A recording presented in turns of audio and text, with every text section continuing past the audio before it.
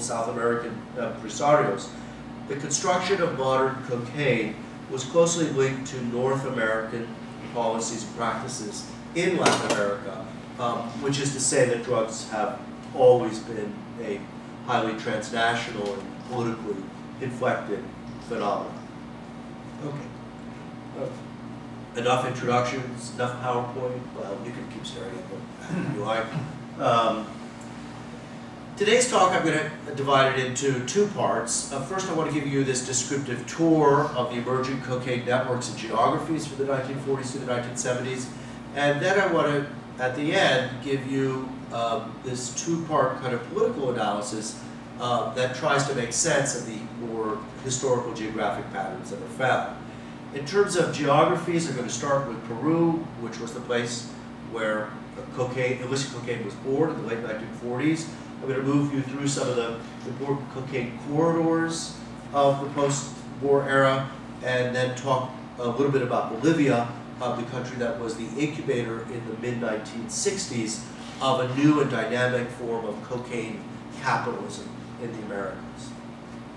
Okay, so let's start with Peru. Uh, am I gonna, something gonna happen? I'm probably gonna get Peru on my face. there you go. I guess I need a pointer or one of those electronic laser. No, I don't care really. You point. He's like, can you do the pointing when I mention the place? Right. There, there is one on, on the. Okay. Anyway, Peru. Uh, good place to start. Uh, this is a country that uh, I actually have worked on for most of my academic career.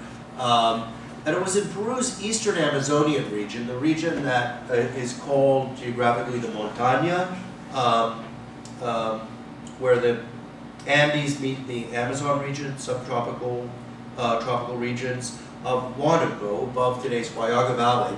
This is a region of Peru that had a long set of historical ties um, to what was a perfectly legal and respectable national cocaine industry that dated back to the 1880s. And this is the medical commodity of cocaine. Um, it was mainly used for local anesthesia. It was derived from local um, coca leaf, you know, the herbal coca leaf of uh, indigenous cultures. Uh, but at the same time, it was marketed by um, uh, growing and highly sophisticated global pharmaceutical firms like Germany's Merck. And in fact, Peru's own turn-of-the-century cocaine industrialists had invented and specialized in the export of something that was called crude cocaine, or in Spanish, cocaína bruta, which was a valuable semi-refined sulfate coca paste um, that Merck and other companies would then refine into medicinal powdered um, cocaine hydrochloride.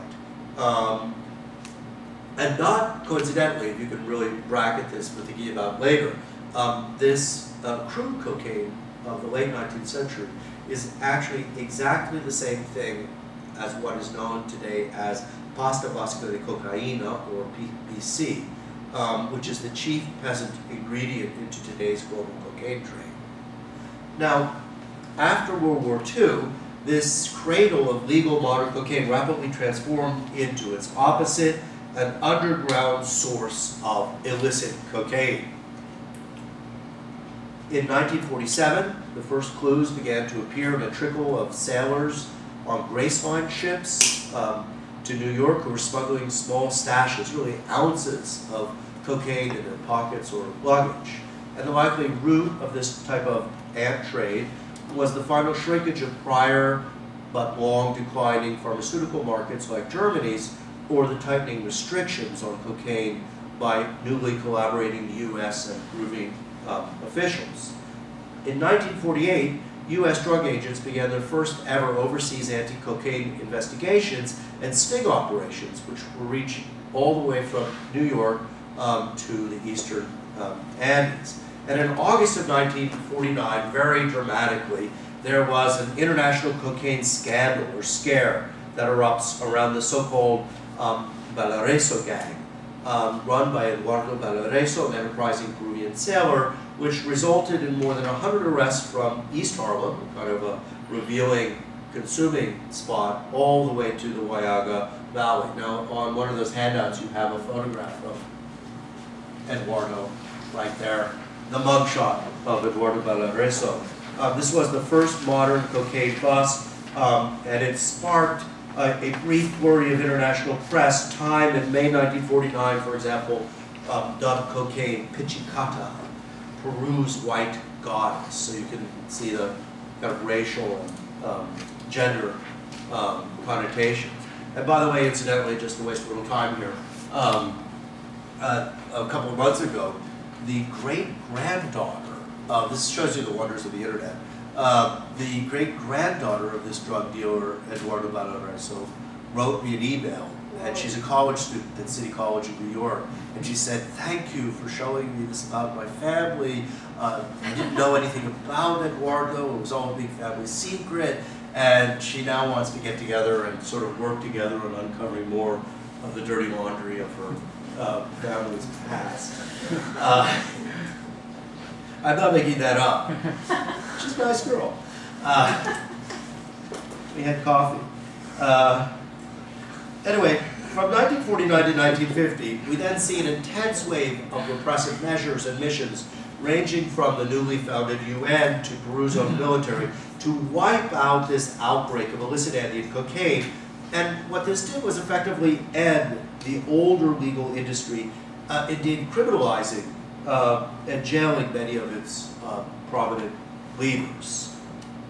But if this crackdown temporarily displaced cocaine from its eastern Peruvian birthplace, these pressures also sparked a rapid dispersion of the techniques and knowledge about cocaine, especially to neighboring Bolivia, a country which had never experienced the so-called industrialization of coca before, which is actually a euphemism used for the making of cocaine. And so what you see here at the very beginning in 1948 to 1950 is a very early example of what sometimes is called the ballooning effect in drugs. Where you crack down in one place and they just simply spread even quicker to another place.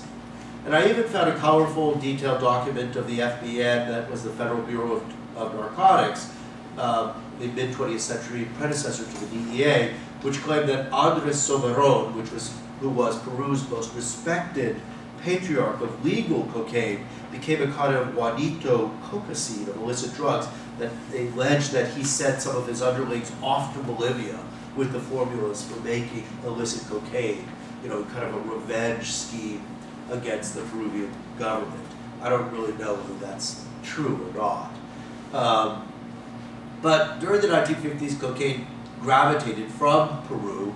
Uh, there were some itinerant interests of Cuban mafiosos who would travel to the country.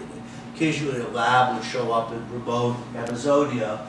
Uh, uh, nor had in the Peruvian birthing process of illicit cocaine, had the drug really set out any social roots that is brought into play its own dynamic coca growing peasantry. It still really had just lived off the remnants of the old legal industry or traditional Andean coca markets. This is really the region I've been talking about around here. The central um, Andean, oh, you got that even better. yeah, all right. Okay. Um, Anyway, the second uh, thing I want to talk about right now are kind of the intermediate routes and spaces um, for the development of the illicit cocaine um, trade. Um, mobile, long-distance drugs like cocaine need um, risk-taking entrepreneurial intermediaries. They need pit stops and way stations to bridge these remote zones of tropical production, cross borders safely, uh,